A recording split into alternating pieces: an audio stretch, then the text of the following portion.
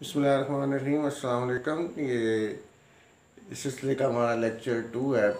First lecture में हमने functions और उसकी एप्लीकेशन को डिस्कस किया था और फिर हम एक्सरसाइज 1.1 कर रहे थे।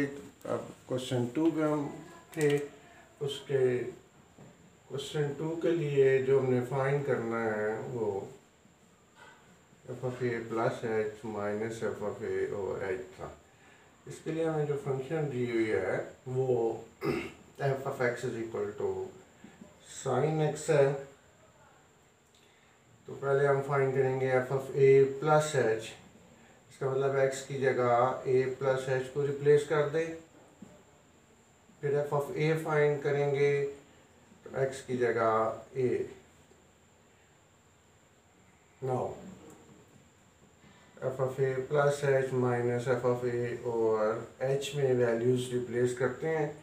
F of A plus H की वैल्यू हमने फाइंड की है sine A plus H minus F of A की sine A divided by H अब ये ट्रिग्नोमेट्रिक फ़ंक्शंस का डिफरेंस है, उसके लिए हमने फ़र्स्ट ईयर में फार्मूला पढ़ा हुआ है sine alpha minus sine beta this is equal to two cos alpha plus beta by two into sine alpha minus beta by two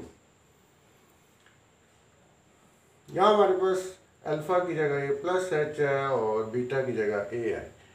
तो वहाँ हम अगर वैल्यूज़ पुट करें तो two cos A plus H plus A divided by two into sine A plus H minus A divided by two whole divided by H ये A plus A two A plus H divided by two ये इससे cancel हो जाएगा तो sine H by two divided by H ये इसका answer आ जाएगा मैं इसे रिपीट कर देता हूँ। हमने क्वेश्चन टू में F of A plus H minus F of A और एच फाइंड करना था। उसके लिए उसने हमें फ़ंक्शन दी हुई है F F X is equal to sine X तो F F A plus H को फाइंड करने का मतलब है कि एक्स की जगह आप ए प्लस एच रिप्लेस करें यहाँ। फिर एफ़ एफ़ ए फाइंड करना है तो एक्स की जगह ए रिप्लेस कर दें। अब चूँकि हमने ये फाइंड करना है F F A plus H minus F F A over H तो यहाँ F F A plus H की वैल्यू पुट कर दी है, यहाँ एफ़ एफ़ ए की वैल्यू पुट की है। टिग्नोमेट्री से sine alpha minus sine beta का फार्मूला वो पुट किया यहाँ। यहाँ हमारे पास अल्फ़ा की जगह प्लस एच है और बीटा की जगह ए आ रहा है। तो यहाँ अल्फ़ा और बीटा पुट किया है। यहाँ भी अल्फ़ा बीटा पुट किया तो हमारे पास ये एक्सप्रेशन बन गई है। इसमें ए और ए को ऐड कर दिया है। ये और ए इससे कैंसिल हो गया है। तो ये इसका आंसर आ जाएगा।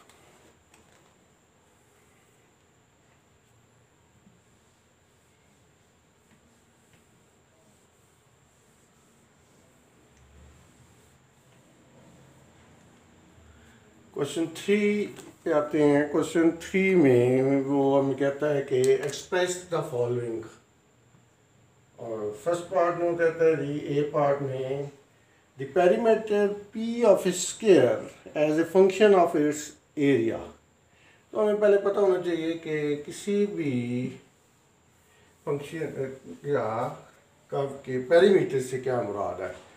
पेरीमीटर कहते हैं sum of lengths of sides.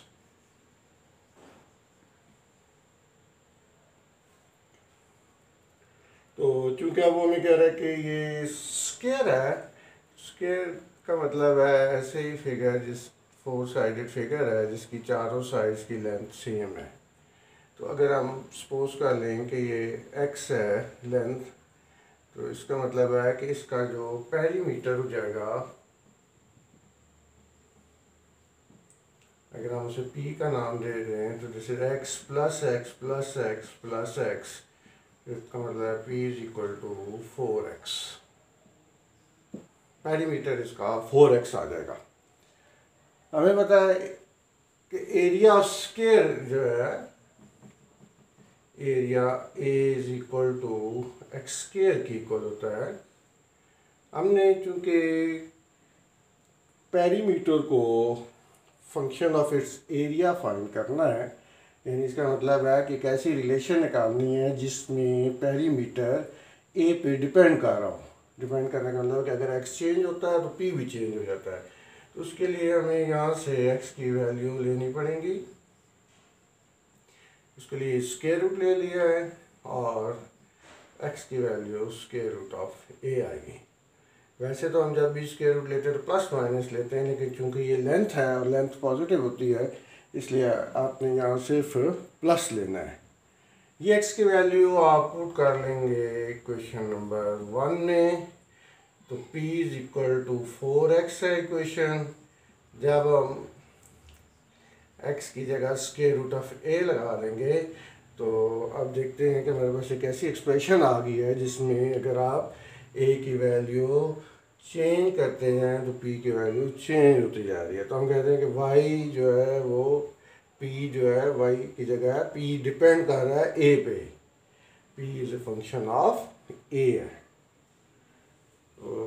Late me repeat it हमसे रिक्वायरमेंट थी कि आप एक ऐसी एक्सप्रेशन फाइंड करें जिसमें पेरीमीटर जो है वो स्केयर के एरिया पे डिपेंड कर रहा हो। तो उसके पहले पर हमने देखा कि जो पैरीमीटर है स्केयर का वो फोर एक्स है, क्योंकि पैरीमीटर बनता है sum of length of side से। और हमने लेंथ ऑफ़ साइड जो रखी हुई है, वो एक्स रखी हुई है।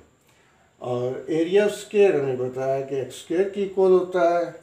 अब हमने ऐसी एक्सप्रेशन निकालनी थी जिसमें पी जो है, वो ए पे डिपेंड कर रहा है। तो इसलिए आपने इस एक्सप्रेशन से एक्स की वैल्यू फाइंड करनी है। और ये एक्स की वैल्यू फाइंड करने के लिए हमने इसका स्केयर रूट लिया है। और पहले जैसे मैंने बताया कि स्केयर रूट लिए तो प्लस माइनस लेते हैं, लेकिन चूँकि ये एक्स लेंथ ऑफ़ साइड है, इसलिए लेंथ नेगेटिव नहीं हो सकती तो आपने प्लस लेना है।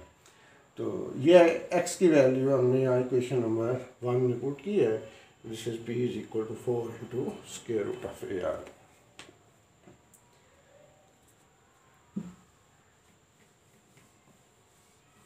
अब हम इसका बी पार्ट अटैम्प करते हैं और बी पार्ट को अगर देखें तो वो कहता है the area of a circle now we have to find the area of circle depending on its circumference हमें पता है कि एरिया ऑफ़ सर्कल जो है, अगर ये इसका आर हो तो let A be area of circle So we know that A is equal to pi r square.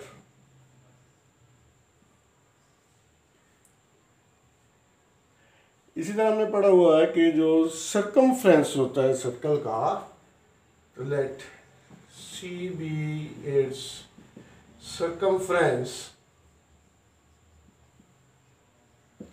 So therefore, c is equal to 2 pi r. अब अगर आपने ऐसी एक्सप्रेशन निकालनी है जिसमें एरिया सरकमफ्रेंस भी डिपेंड कर रहा है तो फिर आपको यहाँ से आर की वैल्यू फाइंड करनी है, यहाँ पुट कर देनी है तो वो एक्सप्रेशन आ जाएगी। अगर इसके इन्वर्स वो कह लेता है कि नहीं कि सी जो है, डिपेंड कर रहा हो एरिया पे। फिर वहाँ से आर की वैल्यू निकाल के यहाँ पुट होते हैं। या हमारी रिक्वायरमेंट के मुताबिक हमें यहाँ से आर की वैल्यू चाहिए। इसे हम पुट करेंगे क्वेश्चन वन में। तो एरिया जो है, आर की जगह C over two pi square ले लिया है, नीचे फोर पाई स्केयर ये पाई इससे कैंसिल हो जाएगा तो C square over four pi हम देख रहे हैं कि हमें कैसी एक्सप्रेशन मिल गई है, जिसमें आप सी की वैल्यू अगर चेंज करेंगे तो एरिया भी उसका चेंज होता जाएगा।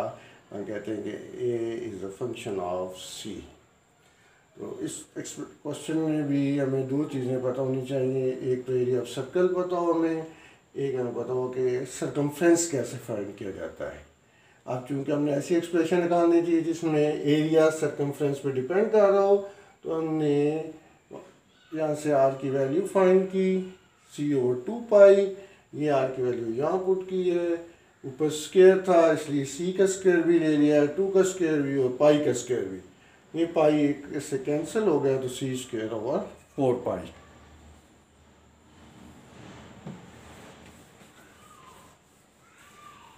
और एक इसका थर्ड पार्ट भी कर लेते हैं। Let me complete it third part में वॉल्यूम ऑफ़ अ क्यूब तो let V be ah volume of cube तो यहाँ हमें अब वॉल्यूम ऑफ़ क्यूब का फार्मूला भी आना चाहिए।